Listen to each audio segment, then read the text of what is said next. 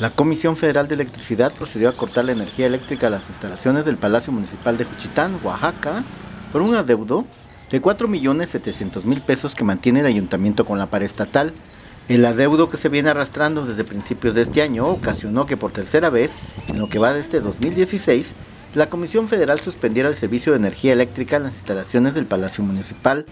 José Ramón Olivo, jefe de comunicación social divisional de la Comisión Federal de Electricidad, informó que le darán un plazo de unos días al presidente municipal Saúl Vicente Vázquez para cubrir el adeudo.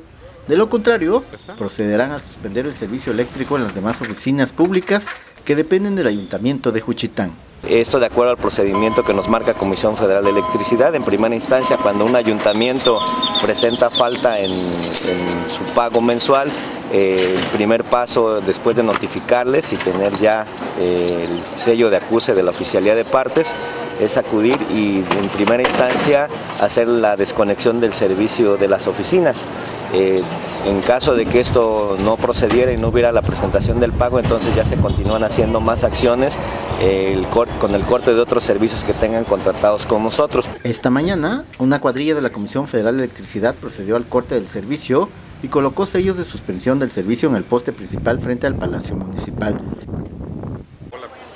En agosto nos abonaron 3 millones de pesos este, y, nosotros les hemos tomado lo que es el derecho de alumbrado público, también lo, hemos estado aplicando a su, a su adeudo.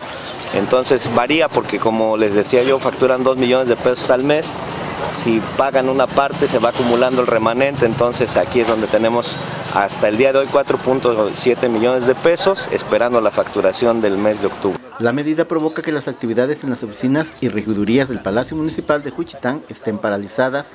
La Comisión Federal de Electricidad informó que si los sellos son violados y las autoridades se reconectan de manera ilegal, se procederá a interponer la denuncia correspondiente contra quien resulte responsable.